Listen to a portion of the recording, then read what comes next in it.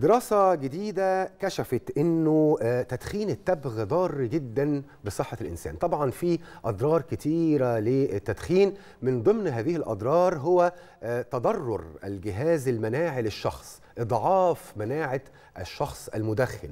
ده ممكن يخليه طبعا عرضة لمزيد من الأمراض والعدوى حتى لو بطل تدخين. إيه حكاية بالظبط؟ آه خلينا نعرف تفاصيل هذه الدراسة من دكتور وائل صفوت استشاري البطنة ورئيس الاتحاد العربي لمكافحة التبغ والتدخين. صباح الخير على حضرتك يا دكتور وبعد التحية. يعني دراسات كتير جدا الحقيقة وعديدة من سنين كتير جدا بتتكلم عن أضرار آه التدخين ويمكن علاقتها بسرطان آه الرئة. لكن بالنسبة لهذه الدراسة إيه الجديد فيها يا فندم؟ صباح الخير أستاذ جمانه وطبعا ببقى سعيد دايما إن أنا أشارك معاكم ونحاول نوصل معلومة للناس اللي مصرة على إنها تأذي نفسها وتأذي اللي حواليها. بالتأكيد موضوع المشاكل اللي بتعملها التدخين بصفة عامة بيأثر على كل خلية من خلايا الجسم. يعني فعلا من أول شعر الراس لحد ضوافر الرجل في مشاكل في الدورة الدموية بتيجي نتيجة النيكوتين، النيكوتين قابل للاوعيه الدمويه وبيزود ضربات القلب.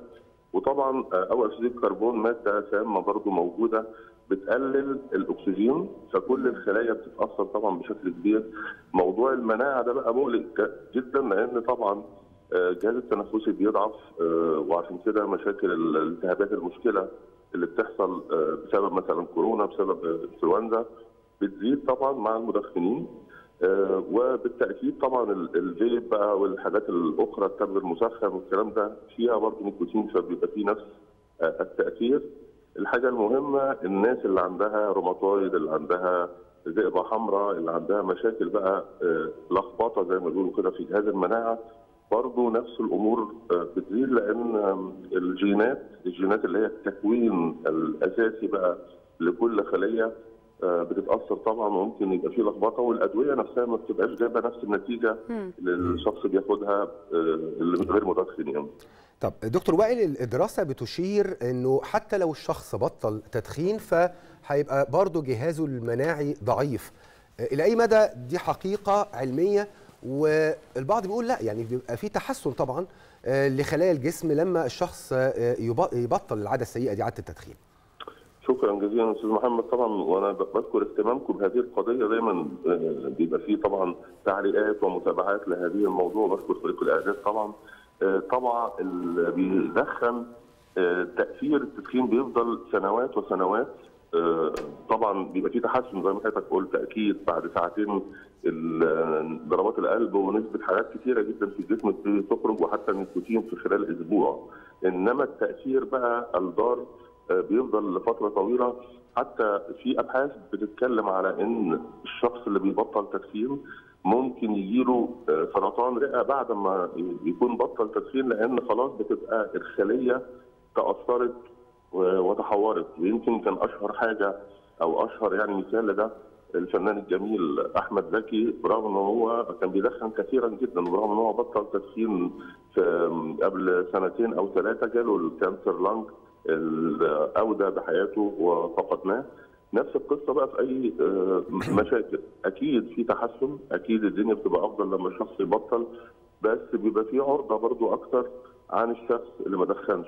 والحاجة المهمة كمان الشخص اللي جنب حد بيدخن اللي هو المدخن السلبي. برضو في مشاكل كثيرة جدا فيعني بنصح أي حد حواليه حد مدخن إن هو ما يعني يحاول يبتعد عنه قدر الإمكان. وبنصح المدخن نفسه ما يقعدش في مكان مقفول ويدخن لأن هو بيبقى مدخن سلبي لتدخينه الأساسي. وبرضه بعيد وبكرر إن هو مش التدخين السجاير فقط ولا الشيشة فقط إنما الفيب والتبغ المسخن اللي طالع موضة دلوقتي آه تأثيراته آه رهيبة لأن برضه في معادن وفي مواد سامة كثيرة جدا. طيب دكتور خليني أرجع للنقطة اللي حضرتك ذكرتها إنه ممكن إنه في قابلية حتى إن أقلع المدخن عن التدخين برضه بيكون عنده قابلية أو عرضة حتى للإصابة بأمراض متعلقة بالتدخين. بس ممكن هنا حد يقول طب خلاص أنا مدخن يعني خلاص بقى اللي حصل حصل. إيه إيه الفايدة إن أنا أبطل تدخين دلوقتي؟ فخليني برضو أأكد مع حضرتك تاني على هذه النقطة. إيه اللي بيحصل أو إيه التحسن اللي بيحصل في جسم الإنسان أو في جسم المدخن بعد ما يقلع عن التدخين؟ برافو عليك يا أستاذ زمان وطبعا أغلب المدخنين اللي هو إيه بيبقى ما بيصدق بقى يقول لك خلاص اللي حصل حصل والضرر هيحصل هيحصل. بس بالتأكيد بعد ساعتين ضربات القلب بتقل نسبة أول أكسيد الكربون اللي أنا كنت بتكلم عليها المادة السامة بتختفي تماما بعد من 8 ل 12 ساعة وعندنا أجهزة بتقيس هذا المادة السامة وكتير بستخدمها حتى في العيادة علشان خاطر أثبت للشخص إن هو جسمه تخلص من المادة السامة الرهيبة اللي هي أكثر مادة سامة أنا شايفها. طبعا بعد ثلاث أيام إلى أسبوع تقريبا النيكوتين بيخرج تماما من الجسم. صحيح. وبعد شهر ضربات القلب والاجهاد اللي بيبقى حاصل للقلب والرئة بتتحسن بنسبة 70 إلى 80% وكل يوم الشخص الدورة الدموية بتاعته السموم اللي موجودة في جسمه بتروح. إنما المشكلة بتبقى في بعض الجينات. الجينات بتتغير وجين الاستعداد لأمراض الرئة جين الإدمان وجين طبعا المشاكل اللي ليها علاقة بالمناعة بتتأثر وعشان كده حتى الابن أو البنت اللي لسه لم يعني تجد طريقها إلى الحياة أو لسه ما اتولدتش بتبقى لو الأب مدخن ولا الأم مدخنة بيبقوا عرضة لهذه المشكلة. بالتأكيد بعد كام سنة كل الحاجات اللي إحنا بنقول عليها دي بتبقى اتحسنت.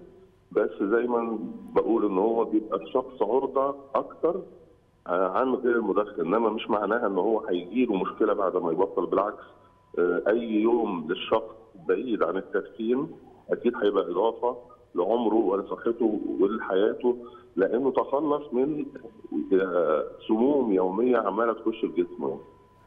نشكر حضرتك جزيل الشكر دكتور وائل صفوت استشاري الباطنه ورئيس الاتحاد العربي لمكافحة التبغ والتدخين. شكرا لحضرتك يا فندم على كل هذه المعلومات والإيضاحات.